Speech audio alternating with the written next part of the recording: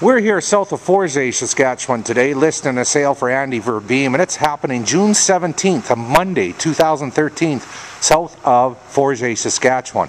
Go to mackauctioncompany.com and check it all out. Here, for instance, uh, we're at a cold, cold day in uh, December. We're listing the sale, so stuff isn't starting. It's too cold.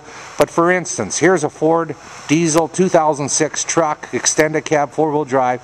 It's only got 21,000 kilometers. That's just 12,000 miles.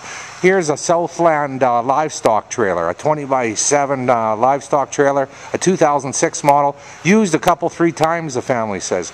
Uh, 7120 front wheel assist tractor uh, with a grapple fork, front wheel assist, uh, just over 4,000 hours. Also, we got a skid steer in the sale with uh, 100 and some hours. It's 10 years old, so you can imagine all the good quality items happening June 17th, 2013, south of Forget, Saskatchewan, for Andy Verbeem and family, June 17th, a Monday. Make sure you go to mackauctioncompany.com and watch for full listing and full pictures come spring.